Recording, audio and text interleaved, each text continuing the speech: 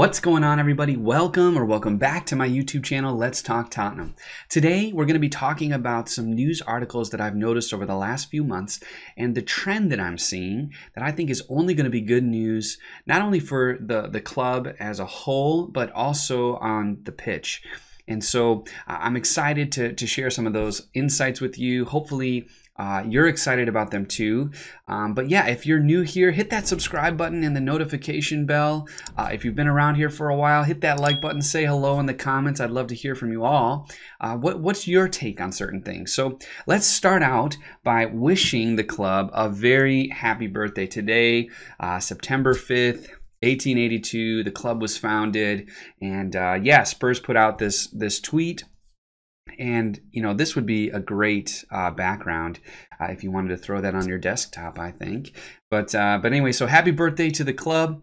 Uh, may there be many many more uh, birthdays as well. But uh, that's not really the news. The news today i wanted to start out um, by talking about what was shared on september 1st um, th- this article came out a club announcement about football management board restructuring and so the club is pleased to announce the appointment of Trevor Birch as Director of Football Operations. Trevor has extensive industry experience and has held several prominent roles within football, including having been the chairman of Swansea City FC and CEO of Chelsea, Sheffield United, Derby County, uh, Everton, and Leeds United.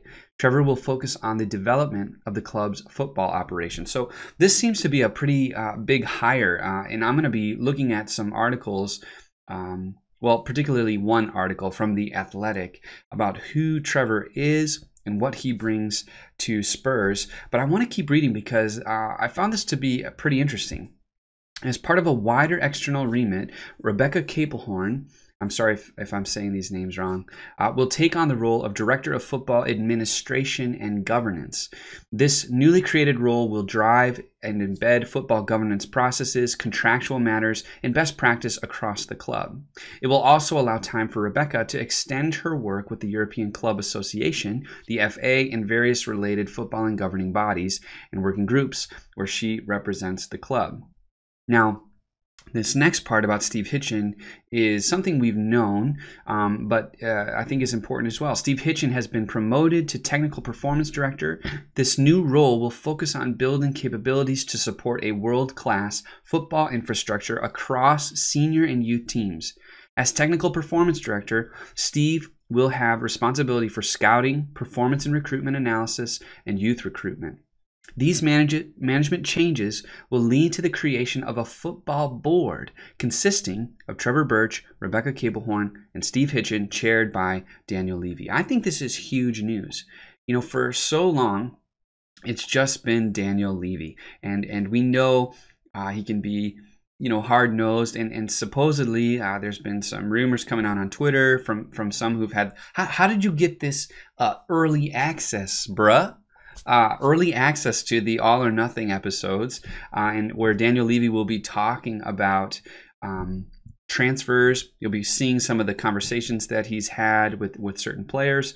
Um, and also, apparently, uh, Alasdair Gold reported this morning that there would be even some boardroom video. So, I think this is going to be great for the the, the club uh, in terms of having Daniel be Daniel and allowing people who are specialized, who are good at what they do, uh, add to that team. I, I think it's, even though I, I appreciate Daniel Levy and everything he's done, and, and I agreed with what he said in the first episode of, of All or Nothing, that some people don't think he's ambitious. I'm building a $1 billion uh, stadium project. Uh, wanting to see the team do well. I, I, know that he may not have always made the best decisions, um, in hindsight. But I do believe he's ambitious, and this is ambitious to bring these people together to create a football board, and he'll be the chair of it. That makes sense. Uh, but let's look in, a look a little into uh, Trevor Trevor Birch. Uh, this is from The Athletic. It's behind a paywall, so I apologize about that, but I will leave a link in the description down below. Um, and so here's uh, what he brings. And they say he brings a human touch to Spurs. And so I just want to focus on this little section here. It says a former professional player himself who started out in Liverpool's youth setup, Birch has forged a highly successful career in the game as an executive. Now 62, and it mentions he was also Chelsea CEO when uh, Roman Abramovich bought the club in 2003, and he had the same position at Everton, Leeds, Derby County, and Sheffield United.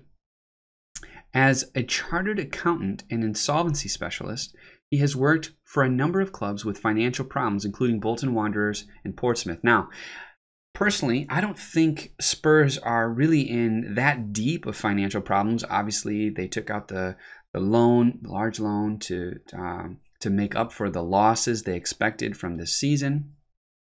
But it doesn't seem like we're in any uh, sort of uh, serious issues. I think we're eighth richest club in the world. Um, but uh, here's what the Athletic points out that his Birch's uh, fiscal expertise and prominent role in facilitating the Abramovich takeover has led to speculation he has been brought on to help facilitate the eventual sale of Spurs especially as his appointment follows that of Jonathan Turner, a specialist in mergers and acquisitions, to the board in June. But others have focused on his expertise in transfer dealings and wide network of contacts as evidence of what he will bring to the club. Now, I I think this is interesting. I, I don't know, you know, Spurs are they're a huge they're well they aren't a huge but they're they're becoming a big club it's going to be harder and harder to sell such a large club uh, there's no naming rights deal. Uh, you just start to wonder: Is Daniel Levy struggling with the the naming rights? Is he struggling with maybe potentially selling the club? And so he's bringing these people in. I don't really know. Personally, I don't think so. I think Daniel Levy loves Spurs. And to be honest, even though I, I disagree with some of the things that he's done in the past, I want a chairman that loves this team. I, I don't want somebody that's just, you know, yeah, doing this game is about money instead of this game is about glory. And so, um, and I know people have accused Daniel Levy of that, but I think he's Spurs at heart, and and I hope that uh, even if this is the direction that Spurs are going in, that whoever comes in will have that same love uh, for the team. Now, this uh, article also mentions the hiring of Jonathan Turner as a non executive director. Now, this was all the way back in June. And uh, football.london, uh, you know, talks about Daniel Levy being delighted with the appointment of, of ex-government advisor at Tottenham. And Alasdair Gold writes, um, they announced his appointment. He has 24 years of investment banking experience and is a Tottenham fan. Um, joins the club board with immediate immediate effect and it is his technological expertise that the club are set to tap into. Now, I I know that the the new stadium, you know, is meant to be technologically advanced, and as we think about, you know, uh, the new realities of uh, this this virus, and you know, having to figure out how to manage uh, so many fans coming into the stadium or or limited number of fans coming into the stadium. There might be something here where having uh, somebody who who knows about technology pretty well who could maybe have some contact in in the uh, you know surrounding world that might be able to help in terms of how can we get more and more fans in here safely um, and so who knows? Uh, you know, Daniel keeps everything pretty close to the chest, but these hires seem to be great hires. I'm, I'm excited about having more voices speaking into Daniel Levy's ear and hopefully helping the club. So this is just looking at that director kind of role or director um, uh, tier but that's not the only change that Tottenham has made over the last few months when it comes to um, changes in personnel. Uh, we know that our very own Ledley King joined the first team staff uh, back in August. Uh, so this was a huge uh, deal. Obviously, Ledley King does not need any sort of introduction, I'm sure, for you. Um, legend of the club the Evening Standard, Dan Kilpatrick wrote an article about it, and one of the things that I noted is he um, you know, replaces the tactical analysis, uh, an analyst, um, and King has been handed a, here it is, wide ranging brief working with Mourinho's coaches, analysts, and players while helping Academy stars transition to the first team as he did himself with much success 21 years ago. Spurs insist his role is not specifically a coaching one, with King yet to have completed his UEFA badges, and he will spend several months gaining uh, a grounding in various aspects of working alongside Mourinho and the players before taking on a more specialist brief. And this is exciting. Uh, I think in the um, article, he goes on to talk about how Jose Mourinho has a pattern of bringing in these legends to come alongside him at the different clubs that he's worked at. And it's so good. I, I, I don't blame him for it. Uh, who doesn't love Ledley? And to have him in and around the club, in and around the players, speaking into the heart of of what we want to see from especially our young players. You can see in this picture he's talking to Troy Parrott, and it looks like the the back of the head of Skippy. Um, and and you want that that energy, that passion, that drive, that experience to tell them how to get to the next level. Making the first team, I, I think these are great appointments. And then lastly, uh, as we, we know back uh, in August, there was a large academy coaching update and restructuring. And, and so uh, the biggest one of these uh, was the appointment of Chris Powell to the academy coaching staff. Uh, he was a, a, highly respected former player, coach, and manager with a wealth of experience in the Premier League and Football League. Chris joins us as head of coaching under 17 to under 23. He will work closely with our former Academy graduate and first team player Ryan Mason, who steps up from his previous role as the U19s coach to become the head of player development from under 17 to under 19. And it has a list of all the different people here. Um, but obviously, this is uh, there was a huge hole that was left in in the the youth development, and so we had to fill that hole and spread that out. Of I think among uh, among more players and or uh, coaches. And so, like I said, I think you see a lot of restructuring in the coaches. You see a lot of restructuring in the, the board and the directors. And hopefully, this will start to show up on the pitch. Um, again, uh, this is building out a, a much larger process. It's not, you know, we're not Chelsea out here spending 250 million on players to just throw on the pitch. Uh, we we are a different kind of club. We're we're we're run in a different way, and so, um, and I like the way that we we run these things. You know, um, personally, I I feel like all that that money just being thrown around. I understand it, but you know, I I'm someone who lives in the states, and we have uh, you know the NHL, the NFL, the NBA, all that stuff, and you've got these um, you know, I'm a Red Wings fan. I grew up uh, Metro Detroit. Back in the day when the Red Wings were didn't have a salary cap, and you know, I remember we we would just go out and buy veterans that could, yeah, just do well as soon as they came in. And the the draft picks, you know, were were different. It, it didn't maybe mean as much. Where now you can see that the leagues have really capped the salaries, which might actually be helpful uh, for the Premier League.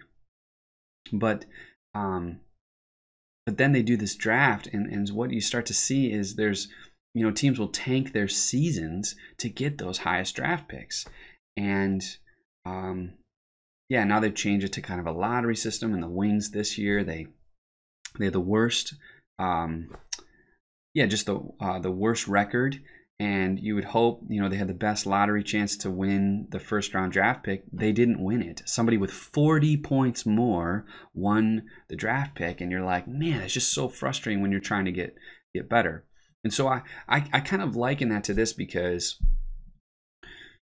it doesn't feel earned when a club like Newcastle is being talked about getting these super rich owners who are just going to inject money. It's you're not earning it. You're not growing. You're not being smart. You're just throwing cash. And maybe some people want that for Spurs, but um, personally, I, I, like the way that we're doing it. I, I, like that we're fiscally responsible, that we're not dependent on an owner. That if if an owner, you know, left that we would be lost. Um, so anyway, I like all these different appointments. I like the, the direction that we're going. I like what we're seeing. It gives me a lot of hope uh, for for coming seasons. I know obviously it's not going to maybe directly affect this upcoming season that starts very very soon, but it, it does give me hope for us um, successive seasons that we're going to start to see a change.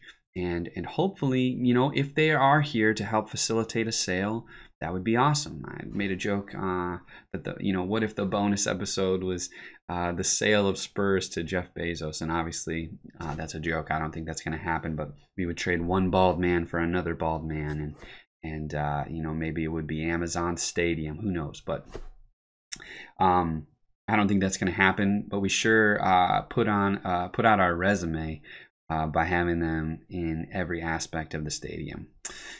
So anyway, uh, I just wanted to show that to you. What do you think? Do you think this is good for the club? Do you think this is a waste of of of, of uh, maybe my time to to even talk about, or do you think this is um, yeah a waste of of funds, you know, in terms of, of what we're doing right now. We're, we're spending money on board and directors and things like that instead of spending money on players. So maybe this is the wrong way to go. Let me know in the comments. And uh, yeah, if you're interested by this, please hit that like button. Be sure to subscribe to my channel. And as ever, it was great talking with you.